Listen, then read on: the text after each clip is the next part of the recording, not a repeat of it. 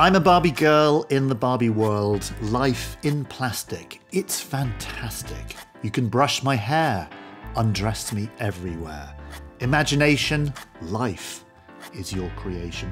Not the words of Confucius or the Dalai Lama. In fact, the words of Aqua, the pop group. Guess what? Today's the story of Barbie.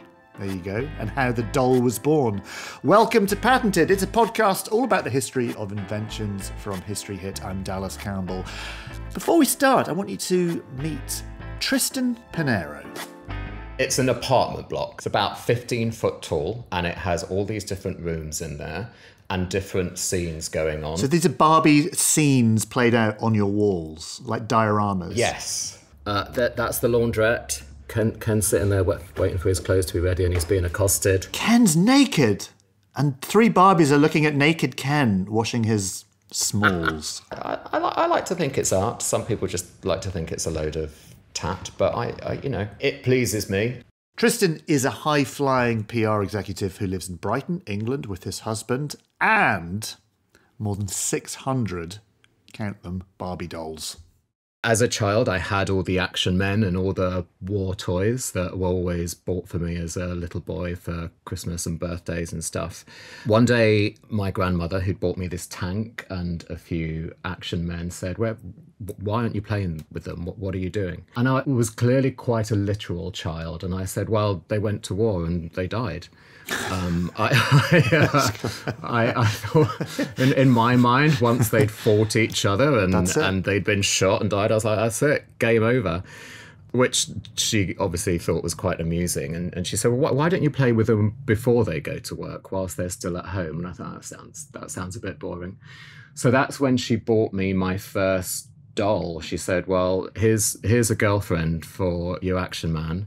Um, make up some stories with them." So I did, and I've I've been hooked ever since. He now shares his home with Star Wars Barbies, Star Trek Barbies, Tim Burton Barbie, Doctor Who Barbie, Marilyn Monroe, and J-Lo Barbies. David Bowie there, who's He's classic Barbie material. some of the original rock star Barbies, which I've had from the 80s, with Cher in the background. Oh, come on, that's excellent. So that is a Cher Barbie. That's Cher as in straddling the big cannon on the ship. Yes, yes, in her in her Bob Mackie, big frizzly hair. And then I've got stuff like, you know, 1980s Joan Collins's Dynasty, Alexis Carrington. Awesome. That's awesome. See, this is the thing. They are like little snapshots of the past, aren't they? Little snap cultural snapshots of where we were and what we were thinking and what we were excited about. Eh, just about every anything that's in popular culture. So everything As a Barbie. I don't have a Barbie yet. I want to have a Barbie. you need a Barbie in your life. Barbie is a mirror to whatever cultural moment we happen to be in, a lightning rod for debate in the shape of an 11 and a half inch plastic toy. they're not afraid of taking chances and of upsetting people and sometimes they get it really wrong and sometimes they get it really right so just What's a really, can you give us a really wrong example? there was a there was a teenage barbie who could speak uh, who, who was at school and you'd push her button and she'd say all these different phrases one of the phrases that got everyone up in arms understandably was math is really hard it kind of perpetuated this idea that you know that girls aren't good at maths or you know anything like that and they should just stick to to what they know. So that was a, an example where they got it really wrong. But recently they've just released this one which is the first transgender barbie. So it's based on laverne cox a trans actress but probably best known for orange is the new black on netflix. And and just the fact that it's a doll of a transgender woman is is groundbreaking. How did this doll, that is so much more than a doll, come to be in the first place?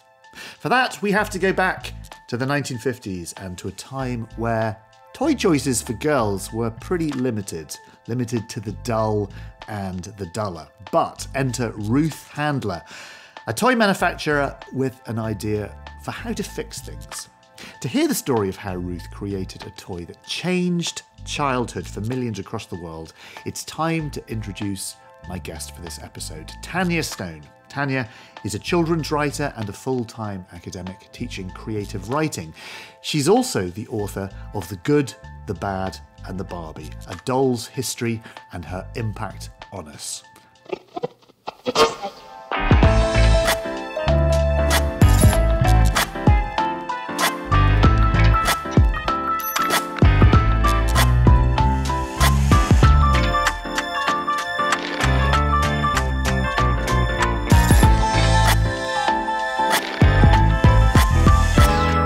Day I've just been listening to that bloody song by Aqua. I'm a Barbie girl in a bar. Uh, you know, did that was that big in America? It is. People like it. Do they? It's I horrific. guess it is horrific. First of all, I'm going to introduce you because you've written, I think, like a thousand books, an obscene amount of books. There must be some kind of record for how many books you've written. How many books are are you up to now? I think 105. How on earth can you write 105 books? I don't know. I'm, on- I'm on one, and I'm that, that nearly killed me. Just explain to our listeners how on earth you got involved writing a book about Barbie. Well, it's a very good question, especially since most of my books have a bit of a feminist bent. People are sort of like, You wrote a book about Barbie? Like, what is that about? So I wrote a biography about Ella Fitzgerald for a series at Viking, which is part of Penguin Random House, called Up Close.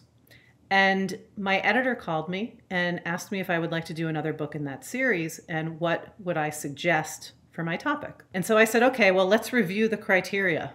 The Up Close series is focused on American 20th century icons that kids are familiar with and had a big impact on our culture. So I said, Barbie. And she laughed at me. and, and I said, no, I'm quite serious, actually. And she said, okay, well, then pitch it. So I pitched it and she took it to the publisher. And the publisher said, I love it. Tell her she can do it as a standalone title and come at it from however she likes. I think it's really interesting. It's funny actually because on YouTube, when I was thinking about this, they've got eight Barbie ads in a, in a row going back from when Barbie was invented in, in the mid 50s up till now. And when I say Barbie is a cultural barometer, it's exactly what it is. You see what Barbie means in 1956, which is all about look, you can get married and you can look lovely and blah, blah, blah, all the way up to Barbie adverts in 2022, which is all about kind of digital Barbie and all kinds of things. She is the sort of uh, mirror of our social anxieties and our ideologies and our cultural thoughts. Yes, and we can talk more about that as well because I would say that Ruth Handler never thought that Barbie was about look, you can get married and have children. Wait, you mentioned a name, Ruth Handler. Who's Ruth Handler? Ruth Handler was the woman who conceived of Barbie. She and her husband and another guy named Matt Matson, who was out of the picture fairly quickly, started a little toy company called Mattel. That toy company started out, their big hit was Hot Wheels, the race cars. Which is still going, I think, or Yeah. are they still going? I don't know. Well, maybe I'm just really old. I remember Hot Wheels. so, so that she was fun. responsible for Mattel. Obviously, that's a massive toy company. Do we know what, much about her? Like, why did she start Mattel? Where's what's her background? Yeah. So it's actually a really um, fascinating Jewish immigrant story. And it's a feminist story, and it's American cultural history story. So it's kind of got all of these components to it all together.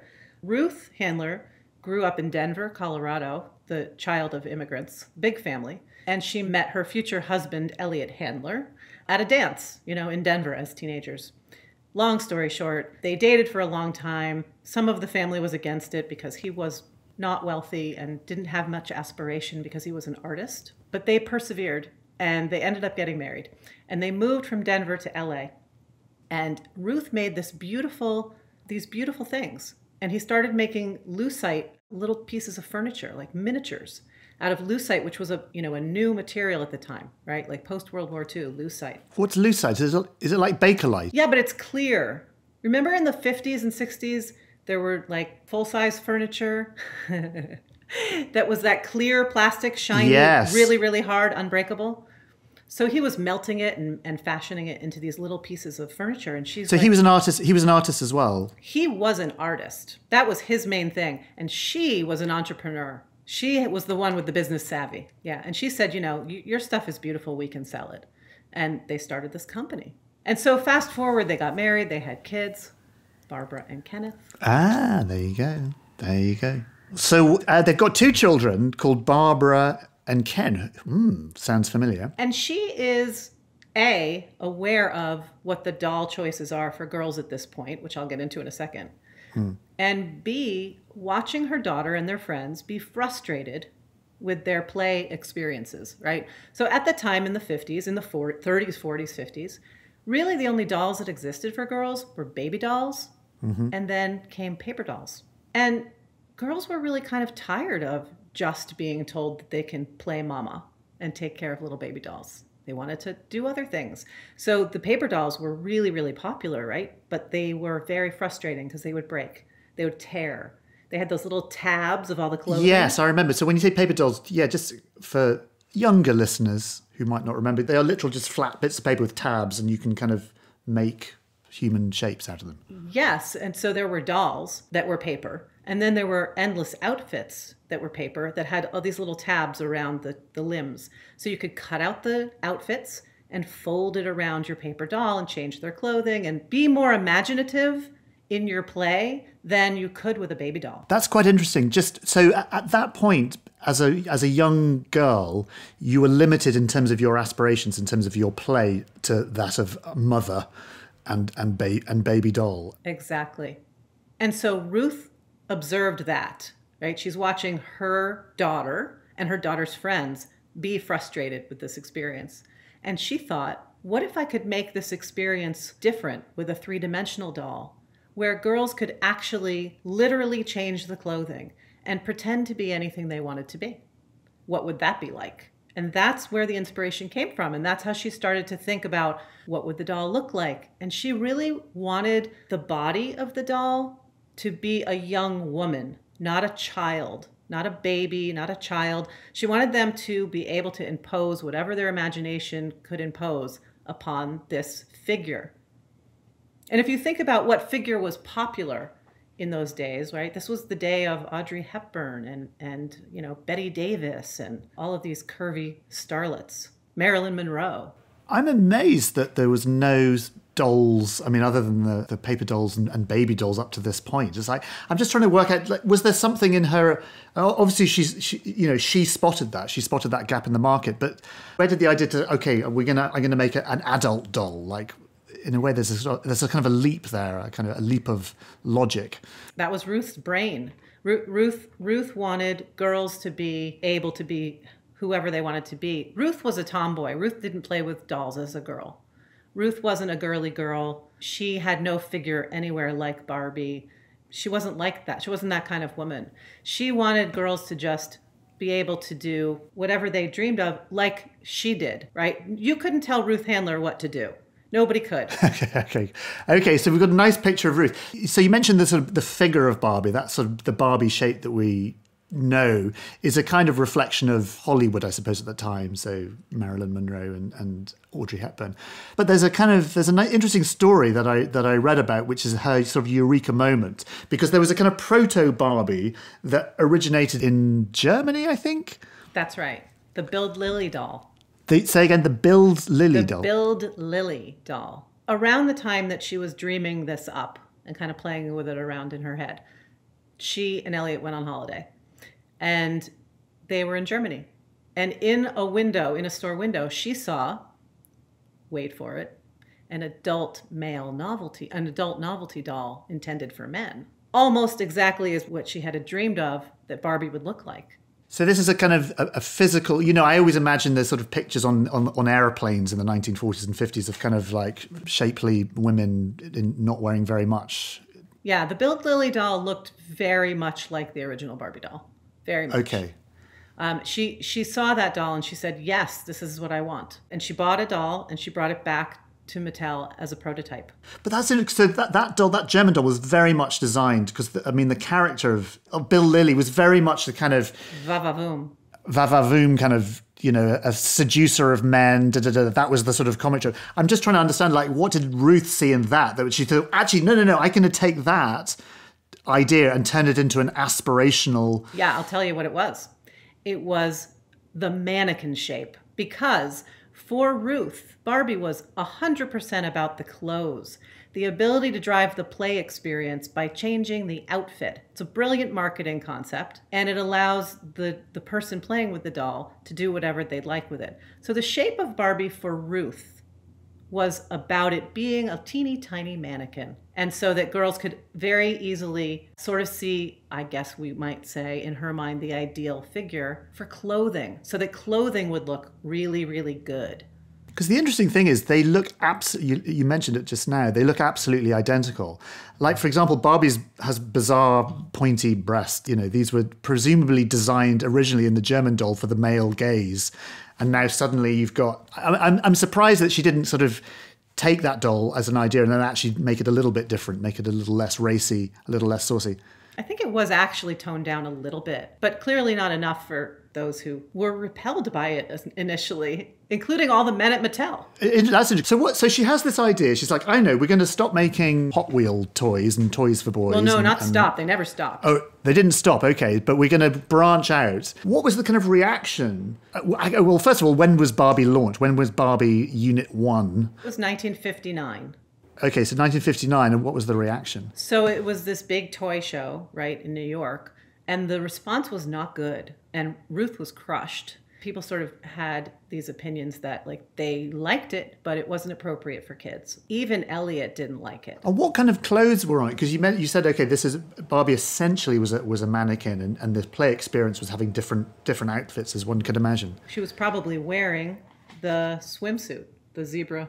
Oh yes, you're holding it up to the camera here. Uh, so that's a sort of classic Marilyn Monroe esque Bette Davis stripy swimsuit. So basically mirroring the fashions of the day, but still quite kind of racy. And when Elliot said, Ruth, no mother is going to buy her daughter a doll with breasts. right. and she disagreed. She disagreed and she persevered and kind of won everybody over for better or worse. It's funny when you look at that 19 I think it's the 1959 commercial which is on is on YouTube and you look at that and you you know if, if Ruth designed Barbie named after her daughter obviously uh, to be aspirational it's still very much like the the very end shot of that advert is Barbie in a wedding dress. It all kind of builds up to you are going to get married as as the as the sort of aspirational thing I suppose that argument could be made, sure. I mean, I I think it's in Ruth's mind, if I may, it was about glamour and fashion and malleability. the fact that you could pop Barbie's head off was intentional, not so that you could bash her about, which is a whole other topic, but because that made it easier to change the clothes. It was all about the clothes for Ruth, absolutely. Uh, so Ruth was obviously a big fashion person was she, She was. She took her appearance very, very seriously. Not to be sexy, just to be polished and powerful. So when did so Barbie's launched 1959. Mattel are kind of a little bit nonplussed about it. When did it suddenly? When did Barbie suddenly start to become popular or or or even a cultural icon? So it's hard to. I, I was trying to remember the dates because thankfully it's not my memory that's at fault here. Hmm. It was actually difficult to pinpoint for the historians. It's. A, I hmm. wrote. It's hard to know whether it simply took time for the public to notice, or if the end of the school year prompted kids to buy toys to play with in their newly found free time, or if some other factor altogether was involved, but suddenly Barbie was a hit.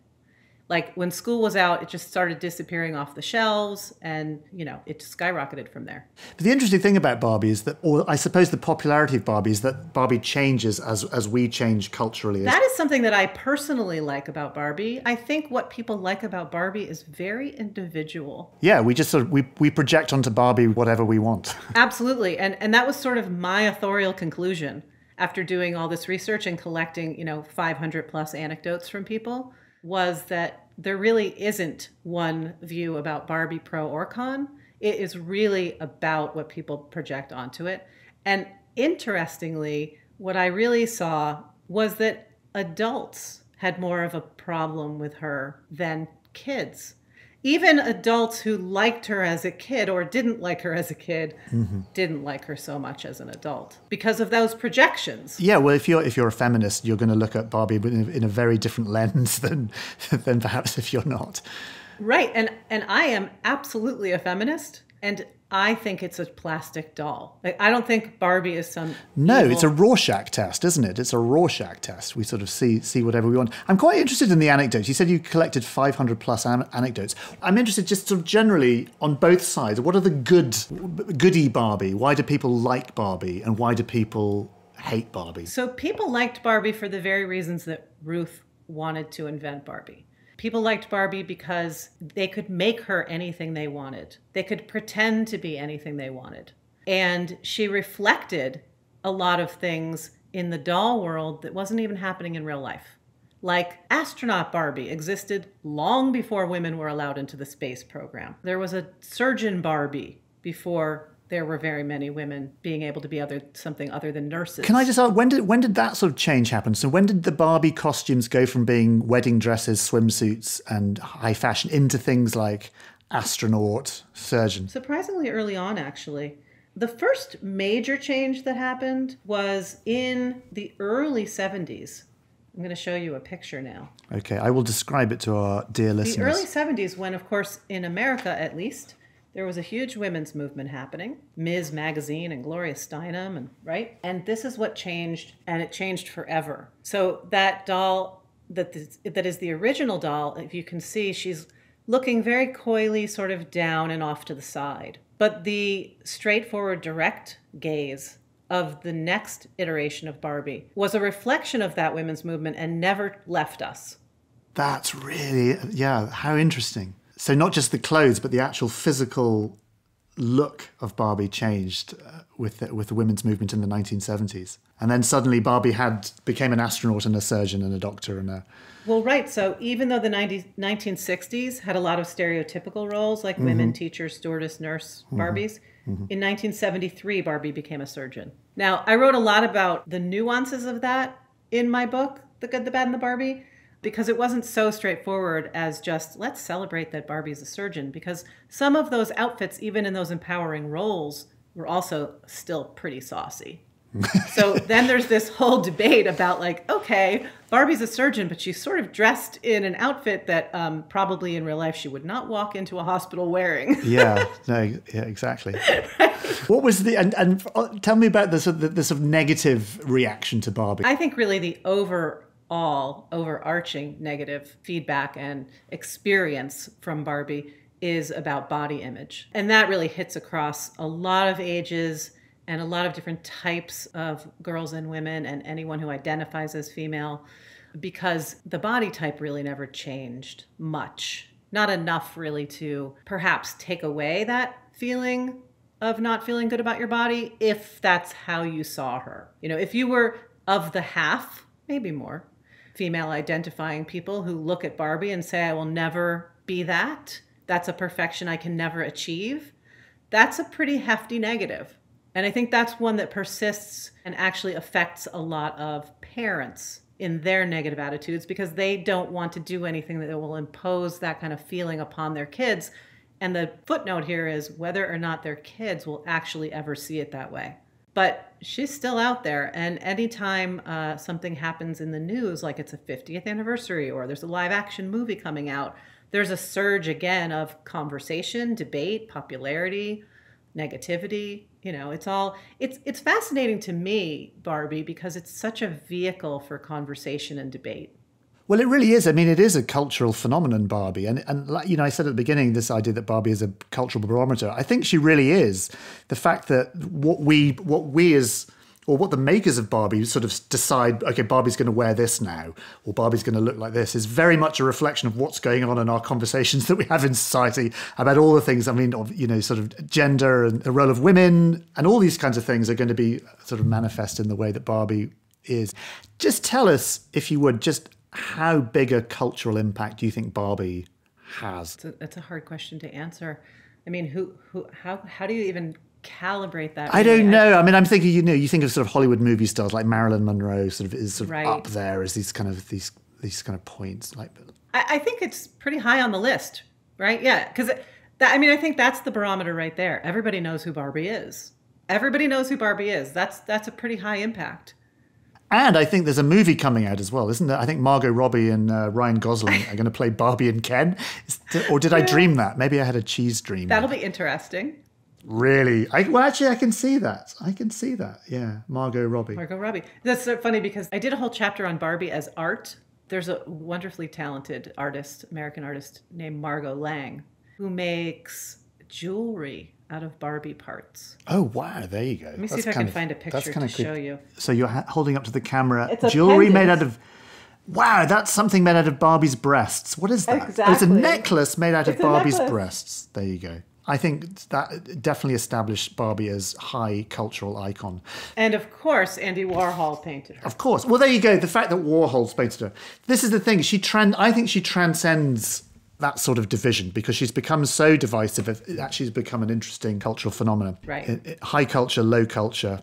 Right. So let's just talk about the future. Do you think Barbie has a future, or have we have we sort of gone to peak Barbie? Has Barbie become so postmodern that it, it will no longer, or maybe we're into sort of post postmodern Barbie?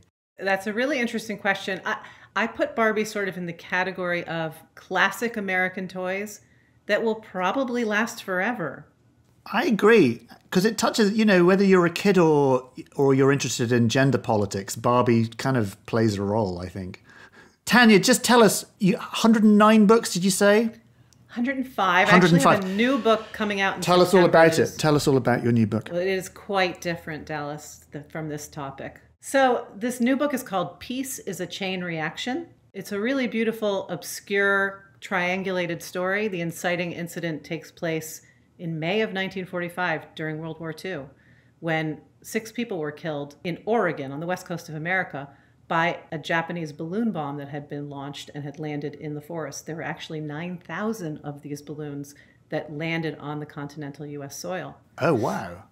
And that is the inciting incident, but the whole book is really a 30 year long story that has to do with a Japanese American man named Yuzuru Takeshita, who grew up to be an anthropologist sociologist, went to Japan, met up with a woman who was one of the hundreds of Japanese schoolgirls who made the paper balloons for these bombs.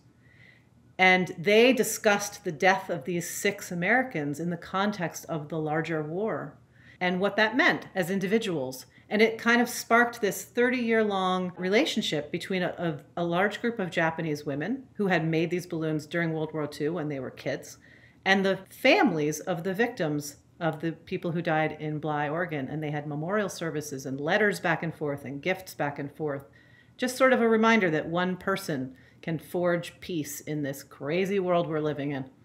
That's a really, really interesting story. I can tell you're a creative writing person because you use words like inciting incident.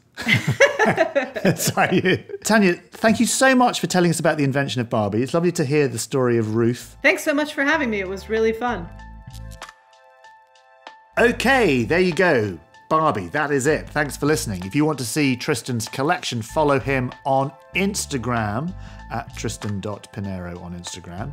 And if you want more from Tanya, then her book, The Good, the Bad, and the Barbie, is out. So you should definitely get a hold of that. I think it's a really interesting story, much more than a doll. This is a story about culture, about politics, about all kinds of things. Listen, if you've enjoyed today's episode, and I hope you have, please leave a review and a rating, etc., etc. It helps others discover the show and helps us, well, it gives us a sense of pride and a sense of fulfillment and a sense that we want to keep on making it. Uh, and don't forget, get in touch with your suggestions for other episodes. We've had loads of suggestions for other episodes, which we're going to do. So if you've got a, an invention or a story or a thing or a question or a, you know something you're curious about, get in touch and we'll stick it on the list. And you never know, we might actually make it, and we'll name check you, of course, if we do. See you soon.